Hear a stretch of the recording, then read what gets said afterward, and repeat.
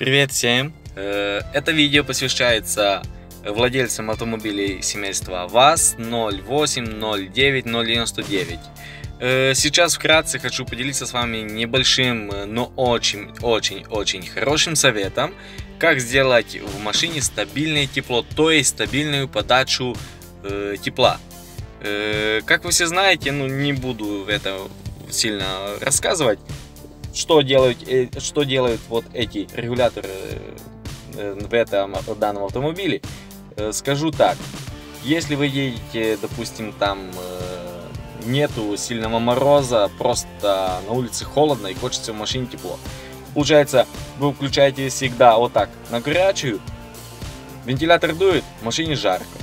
Хотите, от- ну, чтобы было поменьше тепла, приходится отключать вентилятор.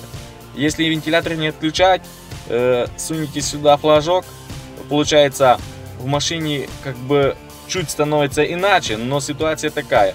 На ноги дует э, горячим, в ноги жарко, а на лобовое стекло холодом дует. Значит, лобовое стекло э, тогда потеет. Что я сделал? Значит, теперь у меня здесь на этом флажке регулируется только подача воздуха. Заслонка большая там, что есть внутри, кто знает. А здесь у меня стоит отдельно тросик для э, краника. И здесь я регулирую подачу тосола в э, радиатор печки.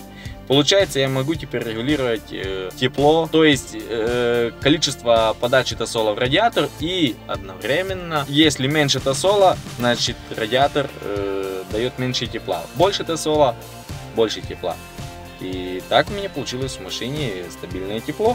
Я включаю на минимум, меня в машине прохладнее. Включаю на максимум, меня в машине теплее.